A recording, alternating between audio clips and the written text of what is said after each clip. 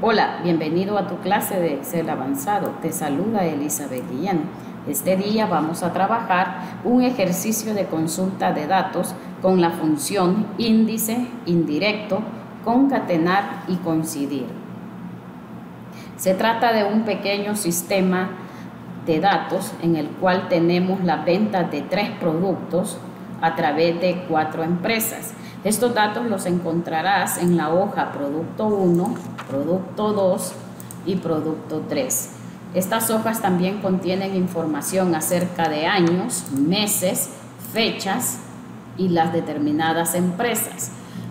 En la fecha ya utilizamos la función concatenar para unir los datos que corresponden al año y al mes. Esta función la puedes practicar en cada una de estas hojas. Mira, va la función concatenar. Recuerda que utilizamos en, en los cursos anteriores las funciones izquierda y derecha que pertenecen a la categoría de funciones de texto. Hemos anidado el texto que, está, que se encuentra a la izquierda y a la derecha. Y con eso lo que hemos obtenido es que las fechas estén abreviadas. Por ejemplo N-07 pertenece al año de 2007 en el mes de enero. Y así consecutivamente lo hemos hecho en cada una de las hojas. Aquí están. Lo único que cambia son las cantidades de las empresas. En la hoja producto 2 también está ya estructurada esta función para que no tengas que practicar lo que es la función concatenar izquierda y derecha.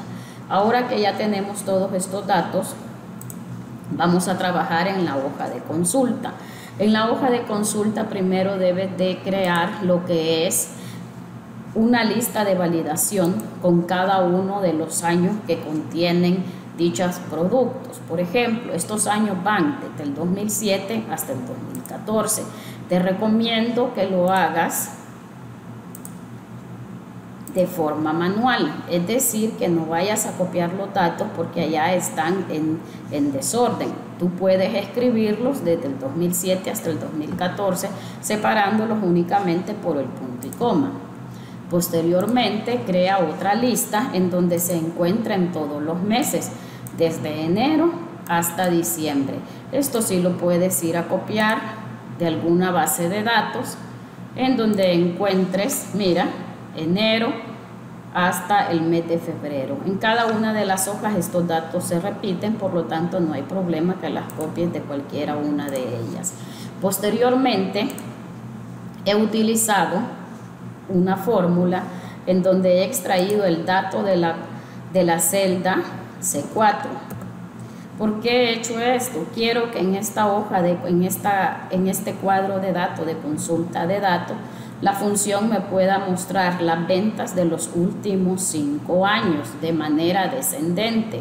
Es decir, al seleccionar el 2014, estos datos van, estos años van a ir ordenados de manera descendiente, siempre correspondiente al mes seleccionado. Entonces, mira, aquí copio los datos de la celda C4 donde he elegido el año. En la siguiente utilizas la fórmula donde dice igual a 8 menos 1. Es decir, el 2014 menos 1, el resultado te va a dar 2013. Y así lo continúas haciendo en cada una de ellas para que los, datos puedan ser, haya más variedad en el resultado de los datos. Recuerda que esta es una pequeña base de datos donde estamos generando lo que es la consulta de las hojas que tenemos los productos con las determinadas empresas. Además, estos datos te van a servir para utilizar lo que es la función de nuevo concatenar izquierda y derecha. Es decir, que vamos a unir el mes y el año y posteriormente con el resultado de esto me va a mostrar los años posteriores. Por ejemplo, en el 2007, mira, te va a mostrar desde mayo del 2007, 2006, 2005, porque aquí la función aparentemente me da un error. No es que me dé un error, lo que sucede es que el primer año es el 2007. Si colocamos, por, si seleccionamos, por ejemplo, el 2010, mira, sí tenemos datos en el año 2009, 2008 y 2007, pero en el 2006 no hay. Por lo tanto, te va a generar este resultado. Es decir, que para que no te muestre ese error, el primer dato que debes seleccionar en este caso puede ser el 2011. y en orden descendente el último sería el año 2007. Recuerda que esto se debe a la función que hemos aplicado, a la fórmula que hemos estructurado en estas celdas. Ahora sí, ya tenemos los resultados y me vamos, los datos que me va a mostrar la siguiente función, la cual te voy a dejar en esta plantilla de ejercicios, una copia, porque es bastante larga. Mira, aquí está esta pequeña función anidada, donde puedes ver que está la función índice, indirecto y concatenar. Anidamos esas tres funciones y utilizamos la referencia de la celda B3. ¿Por qué es la referencia de la celda B3? ¿Qué tenemos en la celda B3? Te lo muestro. También tenemos lo que es una lista donde se encuentran cada uno de los productos. Mira, producto 1, producto 2 y producto 3. Cada vez que nosotros cambiemos el producto, van a cambiar los datos porque las cantidades son totalmente diferentes. Entonces continuamos. Tenemos entonces índice indirecto concatenar y la celda B3 como referencia. Ahora tenemos la referencia de la celda C1 a la celda G97. ¿A dónde tenemos este rango? Te lo voy a mostrar. Este rango son los datos que se encuentran, por ejemplo, en producto 1. Mira, inicia desde la C1 hasta la G97. Este es el rango que se encuentra en la función. En la segunda parte le podríamos llamar de esta función. Luego viene y vamos a utilizar o vamos a hacer referencia a la celda B9. ¿Qué tenemos en este caso en la B9? Mira, es a donde se encuentra el segundo resultado de la consulta de datos, que en este caso es mayo 10. Y siempre vamos a utilizar la referencia de cada una de estas hojas de cálculo hacia la celda C1, G97.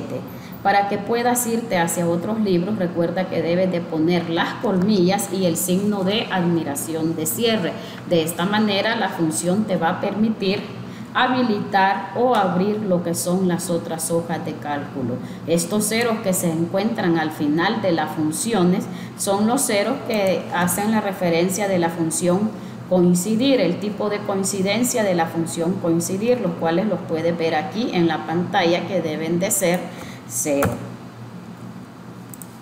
Muchas gracias por tu atención prestada. Espero que este ejercicio te sea de mucha utilidad a la hora de realizar consultas de datos. Nos vemos en tu próxima clase de Excel avanzado.